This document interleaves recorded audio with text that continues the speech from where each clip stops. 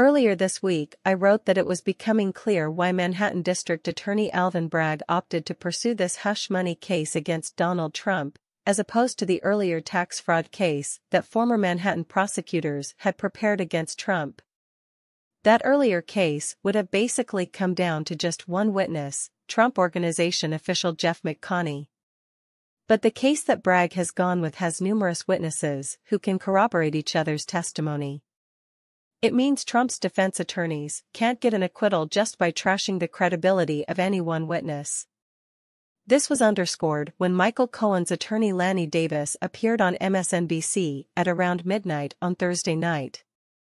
Davis made the argument that any questions about Cohen's credibility as a witness are irrelevant, but this indictment against Trump does not really hinge on Cohen's testimony.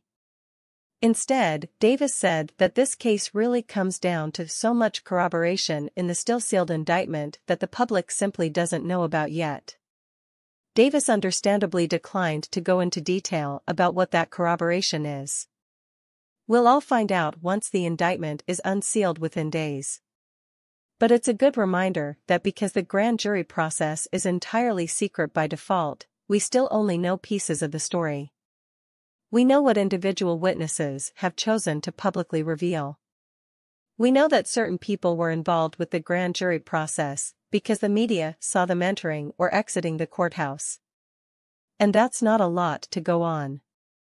Just this evening, it was revealed that a still unidentified witness secretly testified to the grand jury on the same day the indictment came down. That's how much we still don't know yet about what this criminal indictment is built on but we'll all find out very soon.